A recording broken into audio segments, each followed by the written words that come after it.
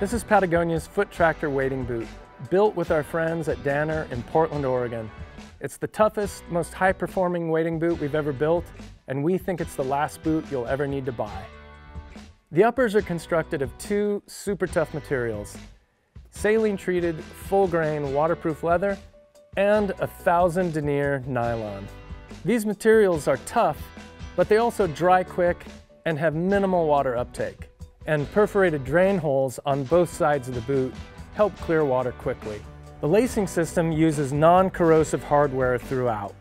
There's traditional eyelets over the instep and speed lacing at the top of the boot that allows you to quickly adjust it for a secure fit.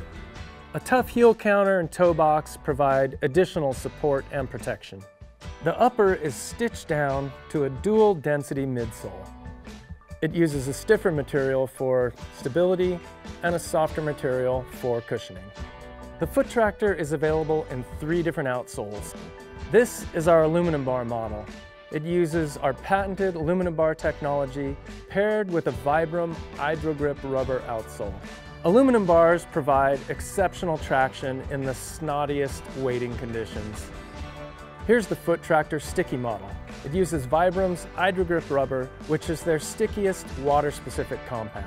The sticky rubber outsole also has reinforced stud attachment points should you want to install studs for additional traction.